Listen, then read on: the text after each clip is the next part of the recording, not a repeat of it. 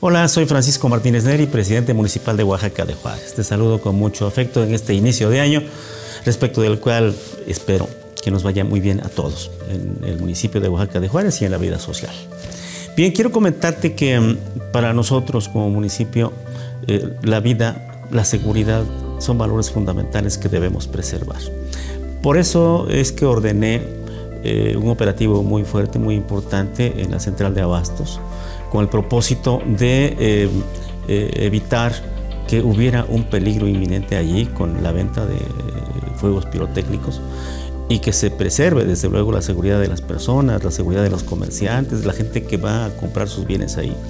Nos parece importantísimo que ese tipo de actividades esté perfectamente regulada, perfectamente ordenada, que no haya violencia, ni mucho menos, ni que por medio de la fuerza se traten de imponer actitudes que no corresponden a una ciudad educadora. En ese sentido, pues eh, yo le pido a la ciudadanía que evite la compra de este tipo de bienes en el futuro, porque se pone en riesgo la seguridad de todos. Este tipo de actividad está regulada y necesita permisos, necesita lugares, espacios en donde se puedan realizar. Y, esto es fundamental para que podamos convivir de una manera ordenada y sobre todo preservando la vida y la seguridad de las personas.